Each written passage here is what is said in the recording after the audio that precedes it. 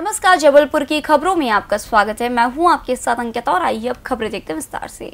नगर निगम की बजट बैठक काफ़ी हंगामेदार रही। जल संकट को लेकर पक्ष विपक्ष के बीच जमकर बहस भी हुई और निगम अध्यक्ष को तीन बार बैठक स्थगित करनी पड़ी। इसके बाद भी बजट पेश करने के लिए पक्ष विपक्ष में सहमति नहीं बनी और अध्यक्ष को विवाद के बीच ही बजट पेश करने की अनुमति देनी पड़ी।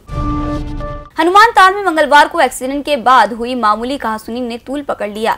देखते ही देखते दोनों गुटों के लोग एकजुट होने लगे। मामले की सूचना मिलते ही हनुमान ताल पुलिस मौके पर पहुँची और स्थिति को संभालने की कोशिश की। दोनों गुटों के वरिष्ठ लोगों को भी बुलाया गया, जिन्होंने समझाइश देकर मामले को शांत कराया। शहर में अपराधियों के खिलाफ सख्ती करने के लिए जब अधिकारी एक आदतन अपराधी का मकान तोड़ने के लिए पहुँचे तो परिजनों के विरोध और मकान के कागजात देकर, सिर्फ़ चेतावनी देकर, उन्हें वापस लौटना पड़ा। घमापुर क्षेत्र में चौदह गुंडे बदमाशों के अवैध निर्माण तोड़े जाने हैं। पुलिस चौकी से महज 200 मीटर की दूरी पर एक युवती ने फांसी लगाकर आत्महत्या कर ली, लेकिन पुलिस इस सारे मामले से अनजान बनी रही और परिजनों ने पुलिस की सूचना के बगैर मृतक का अंतिम संस्कार भी कर दिया। पुलिस का यह रवैया इलाके में चर्चा का विषय बना हुआ है। मंगलवार को दोपहर एएसपी ग्रामीण संजय साहू अचानक पाटन थाने निरीक्षण के लिए पहुँच गए। एएसपी साहू ने थाने के रिकॉर्ड मंगवाए और लंबित अपराधों की समीक्षा की। थाने में परेड निरीक्षण भी किया गया, जिसमें कुछ खामियाँ मिली।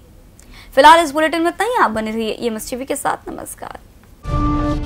जनावन सेल्स, घरेलू आटा चक्की की शानदार रेंज घर का आटा, शुद्ध आटा।